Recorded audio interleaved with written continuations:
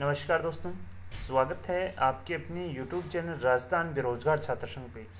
दोस्तों, लंबे समय से लंबित भर्ती, वर्ष 2013 नर्सिंग भर्ती, जिसमें एएनएम के लगभग सड़सठ सौ उन्नीस पद और जीएनएम के पैंतालीस सौ चौदह पदों पर आठ साल से अभ्यर्थी भर्ती करने की मांग कर रहे जी हाँ दोस्तों, पिछली बार भी यहाँ पर जब धरना प्रदर्शन चल रहा था, तब इन अभ्यर्थियों को यहाँ पर सरकार द्वारा वादा किया गया था कि इनके जो रास्ते हैं इस भर्ती के, वो तलाशे जाएँगे और अभ्यर्थियों को ज्वाइनिंग दी जाएगी। इसी को लेकर कांग्रेस के दो प्रमुख विधायक पर्वतसर से रामनिवास जी गावड़िया और हेमाराम जी चौधरी ने इस भर्ती को लेकर यहाँ पर ट्विटर पर मुद्दा उठाया।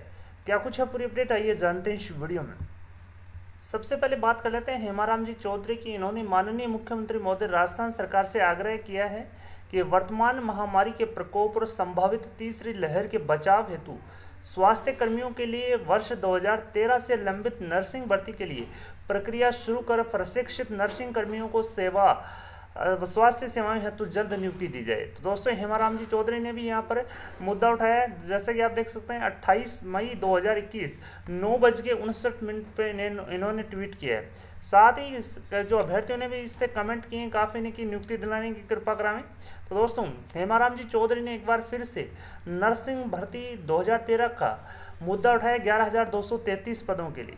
इसी प्रकार से परबतसर विधायक रामनिवास जी गावड़िया ने भी माननीय मुख्यमंत्री महोदय अशोक जी गहलोत से आग्रह किया है कि वर्तमान महामारी के प्रकोप और संभावित तीसरी लहर से बचाव हेतु स्वास्थ्य कर्मियों के लिए वर्ष 2013 से लंबित नर्सिंग भर्ती की प्रक्रिया शुरू कर प्रशिक्षित नर्सिंग कर्मियों को सेवाएँ, स्वास्थ्य सेवाएँ हेतु जल्द नियुक्ति दी जाए। तो दोस्तों, यहाँ पर रामनिवास जी गावड़िया और हेमाराम जी चौधरी जो एमएलए हैं कांग्रेस से, इन्होंने जो सरकार के मुखिया हैं अशोक जी गहलोत से आग्रह किया है कि वर्तमान महामारी को के प्रकोप और तीसरी लहर को देखते हुए स्वास्थ्य कर्मियों की जल्द से जल्द भर्ती की जाए और वर्ष 2013 से लंबित नर्सिंग भर्ती को पूरा किया जाए ताकि प्रशिक्षित जो कार्मिक है, नर्सिंग कर्मी है, वो यहाँ पर मिल सके और स्वास्थ्य सेवाएँ यहाँ पर सुदृढ़ की जा सके।